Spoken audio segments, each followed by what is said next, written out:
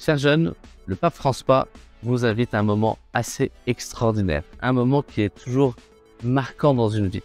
C'est ce que nous appelons les journées mondiales de la jeunesse. En plus, cette année, elles vont être tout près de nous, puisqu'elles vont avoir lieu au Portugal, à Lisbonne. Et c'est un, moment de rencontre extraordinaire de jeunes du monde entier, un moment de rencontre en deux temps. Un premier temps, c'est la rencontre des, des chrétiens, des communautés chrétiennes, des jeunes de communautés chrétiennes dans le pays qui nous accueille. Alors, on va passer quelques jours à Braga.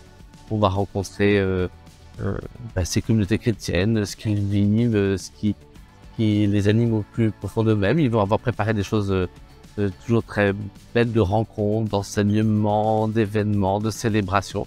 Donc ça, ce sont quelques jours qui sont vraiment très marquants.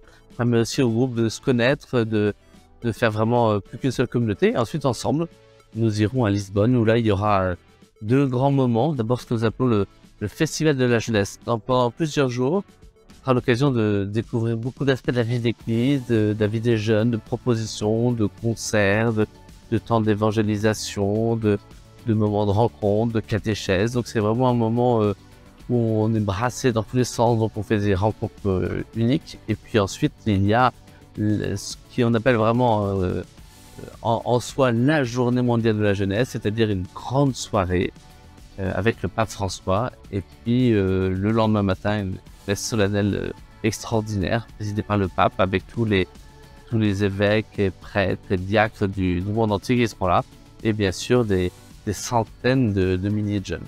Donc vous êtes vraiment les bienvenus. Les inscriptions sont déjà ouvertes, donc n'hésitez pas, dépêchez-vous pour pouvoir vous inscrire, pour pouvoir préparer ce grand moment.